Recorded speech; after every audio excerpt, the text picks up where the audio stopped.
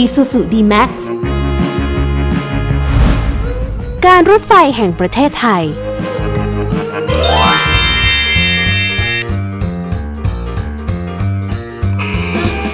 โอ้โห นี่เราอยู่ห้องอะไรกันคะเนี่ยคุณแสง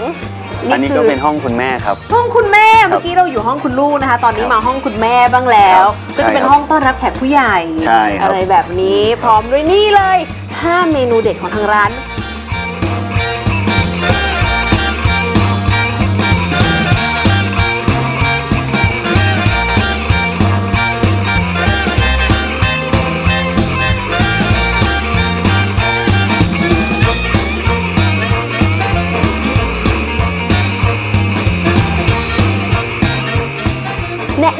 นะนำแต่ละเมนูให้เราได้รู้จักได้ครับ เล็กน้อยเริ่มจากเบาๆก่อนดีกว่าครับ เบาๆนะคะเบาอันนี้เขาเรียกว่าผักบุ้งไม่ลอยฟ้า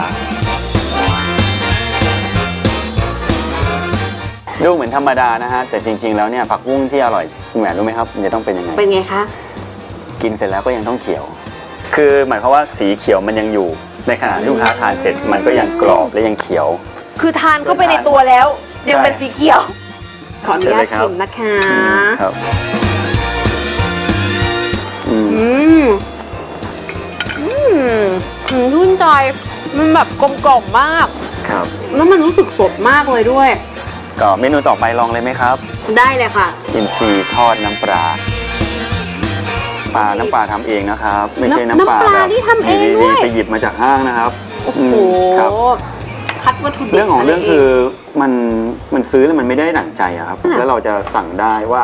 ขอดอง สัก 12 เดือนนะ ปีกว่านะ โอ้ พอดองปีกว่าปั๊บมันจะเกิดเขาเรียกว่ามันเกิดกากน้ำตาลโดยตัวธรรมชาติของมัน กากน้ำตาลที่เกิดจากการหมักของน้ำปลาถูคืกอครับน้ำปลาหมักเป็นนานๆแล้วมันกลายเป็นน้ำตาลหรือยังไงเอ่ยเอ่อน้ำปลาที่ทั่ว ๆ ไปมันจะหนักหมาหมักประมาณ 12 เดือนค่ะแต่ถ้าเกินจากนั้นเนี่ยมันจะเกิดกากน้ำตาลที่มากขึ้นอืมเขาเรียกว่าจะให้รสชาติของอูมามิมีความกลมกล่อมอืมแล้วก็ความอร่อย มันจะไม่ใช่แค่แหลมเค็มอ๋อเพราะแหลมเค็มมันจะทำลายความหวานของปลาเวลาลงไป อืมมันไม่แหลมครัอบย่างที่คุณแสงว่ามันจะแบบครับ กลมกล่อมรสชาติมันจะแบบนุ่มๆกว่าหน่อยนึงใช่ครับ อืมสองตัวนี้เกิดมาคู่กันครับ อันไหนกับไหนคะ แกงพริกขึ้นสวรรค์กับปลาอินทรีทอดน้ำปลา มันจะเบรกกันครับ แปลว่าอาหารร้านนี้นี่มาจากหลากหลายภาคในประเทศไทยเพราะคุณพ่อคนใต้ครับอโอ้ย่าคุลืณมพ่อเป็นคนใต้ถูกครับ โอ้แล้วก็คือคุณแม่ก็เลยแบบว่า ได้ลองทำอาหารครับ หลากหลายภาค ใช่ครับ อืม ก็เลยได้คุณพ่อมาผสมนะครับเลยกลายเป็นใต้ด้วย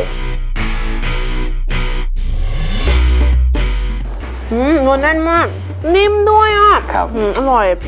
อร่อยมากถ้าเผ็ดมากบางครั้งเราก็เบรกกับแตงกวาครับ อืมครับ แล้วก็มีแหนมเขาเรียกว่าแหนมกุนเชียงนิดหนึ่ง เรียกทีมว่งานบอกว่าให้เหลือด้วย เนี่ยเนี่ยเหลือให้กินแค่เนี้ยแหละ คนมองกันน้ำลายยืด อย่าเพิ่งอิ่มสิครับโอ้ค่ะ คุณแหวนหนูเสียดายหนูเสียดายอันนี้นะครับ ในบรรดา 5 เมนูเนี้นะครับ เมนูนี้จะเป็นเมนูที่ทำยากที่สุด อืมไม่ได้แพงต้นทุนนะฮะแพงค่าแรงครับ ทำไมอะคะอันนี้ เพราะว่ามันต้องมาล้างผักแค่ผักก่อนหนึ่งวันครับอืมล้างให้เกลือมันออกพ อล้างเสร็จครับ ก็เอามาคั่ว คั่วเสร็จเอามาอบ อบเสร็จเอามาต้ม ต้มเสร็จเอามาตุ๋นโอ้ตามทันไหมครับไม่ทันไม่ทัน แต่ว่าแค่ฟังก็คราวงนี้งเนี่ยแล้วพอพอตุ๋นรวมกันเนี่ยหมูกับผักจะต้องเป็นตัวเดียวกัน เขาเรียกว่านิ่มลื่นละลายในปากนิ่มลื่นละลายในปาก ครับขออนุญาตนะขคอรับบคุณค่ะ ตัวนี้อาจจะต้องทานกับหมั่นโถอบครับ นี่ไม่ใช่ขนมปังเหรอคะ นี่คือหมันโถตัวนี้ไม่ใช่ครับ ตัวนี้มันแป้งขนมปังผสมกับแป้งหมั่นโถอืมครับ มันเลยให้ความรู้สึกที่นุ่มนิ่มไม่ใช่เหนียว อืมทานด้วยกันรสชาติมันกลมกล่อมเนาะครับใช่ครับ อืมอร่อยครับตักอีกนะ อร่อยมากอื้อหืออยากจะอธิบายให้คุณผู้ชมฟังแต่ตอนนี้ปากไม่ว่างนะคะ อร่อยมากแล้วก็ตักกินเพิ่มเฉยเลย ประมาณนั้นคือรสชาติหมูมันแบบ เหมือนละลายในปากแล้วมันกลืนไปกับเนื้อผักจริงครับๆมันมันฮะต้องเรีมียกว่ามันมัมันนจนถึง มันคือการอบจนให้น้ำงวด แล้วให้รสชาติเข้าไปในหมูกับผักน้ำงวดแปลว่าอะไรเอ่ยน้ำซุปที่เราตุ๋นเนี่ยครับ อ๋องวดงวดจนมันเข้าไปข้างใน คือจนมันซึมไปครับในทุกอนูของใช่ หมูและผัก ภาษาจีนเขาเรียกว่ามัน มันครับอ๋อมันเป็นเทคนิคตอนการนี่มัคือคุณแม่ไปทานที่ฮ่องกงมาแล้วก็เกิดใช่ติดครับ ใจก็เลยมาลองทำเอง ครับใช่ฮะคุณแม่อัจฉริยะมากเลยคือเขาจะอทานอาหารเสร็จแล้วเขาจะเกา เกาก็คือว่าจำรสชาติแล้วก็มาเกาเพื่อทำเกาซอสเกาเทคนิคครับนี่ก็เกาจนแบบ อยากจะบอกว่าอร่อยกว่าฮ่องกงนะอันนี้จริงๆ ลูกค้าลูกค้าฮ่องกงอะที่มาเมืองไทยนี่สั่งตัวนี้ตลอดจริงเหรอคะเขาบอกว่าอร่อยกว่าที่บ้านเขา ออร่อยกว่าฮ่องกงครับ จริงคุณแม่เขาออกมาได้แบบ ครับล้ำไปอีก step หนึ่งครับเลยทีเดียวใช่ครับแต่ก่อนจะไปเมนูต่อไปขออีกสักอันหนึ่งแล้วกันนะคะอืมอืมและนี่เมนู signature ถ้ามาที่นี่เราไม่ได้ทานแล้วหน้าเดี๋ยวจะมาไม่ถึงครับใช่ครับ 99%หรือหนึ่งจริง ๆ ไม่ใช่ 99ครับ101% หนึ่งร้อยหนึ่งเปอร์เซ็นต์ทำไมถึง 101%รู้ไหมครับคุณแม่ทำไมคะเพราะเขาสั่งกลับบ้านอืมเขาไม่ได้ทานอย่างเดียวอืมเขาทานเสร็จเขานึกถึงพ่อนึกถึงแม่เขาเออเดี๋ยวซื้อไปฝากแม่เออเดี๋ยวซื้อไปใส่บาตรภาพนี้มันเห็นมาตลอดเลยราดหน้าฮ่องกงครับอืมอันนี้ที่เห็นผัดอยู่ในครัวเมื่อกี้เลยใช่ไหมครับใช่นี่คืครัอบฝีมือคุณแสงลงมือทำให้เราได้ทานเองเลยใช่อืม นี่เป็นราดหน้าในตำนานตัวนี้เพต้อราะงใช้ไฟแรงสูงครับทำไมต้องใช้ไฟแรงสูงเป็นพิเศเพราะษว่าอันนี้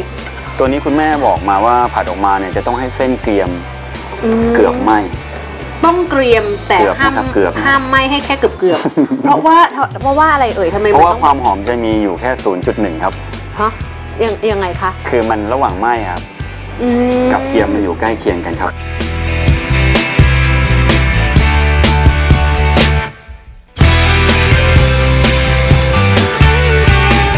จากที่ดูมาเนี่ยทุกอย่างเลยวัตถุดิบไม่ว่าจะเป็นน้ำปลา ไม่ว่าจะเป็นหมูนะคะครับทุกอย่างว่าที่นี่เนี่ยใส่ใจในรายละเอียดมากๆทำไมคุณแสงถึงให้ความสำคัญกับวัตถุดิบขนาดนี้คะ